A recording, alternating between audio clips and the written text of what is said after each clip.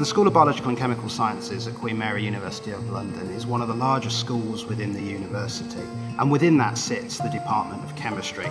I study pharmaceutical chemistry with a year in industry at Queen Mary, and I chose to study at Queen Mary because not only is a very academic university, it's part of the Russell Group of the top universities in the UK, but it's also a very diverse and inclusive university, and it's really got a great balance of both academic and the social side as well.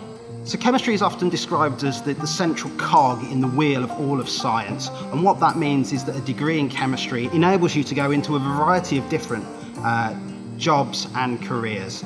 The thing that I didn't expect about my chemistry degree is the amount of different careers that you could pursue with it. Um, not only can you pursue a career in research and development and in the labs, but you can do so many different things in finance and banking, and it really opens a lot of doors for you. We've recently invested £5.1 million worth in these labs.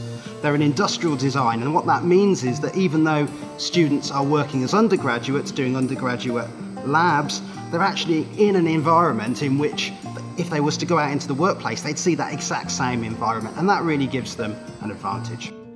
I worked at GlaxoSmithKline, GSK for a year, and that really opened so many doors. And I learned a lot about just drug development in general and things that I can actually apply. I really, really love the interaction with students. I really enjoy the lectures, standing in front of the students and giving that performance.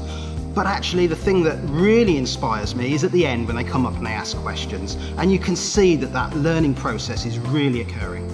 I'd highly recommend students to apply to the chemistry programme at Queen Mary.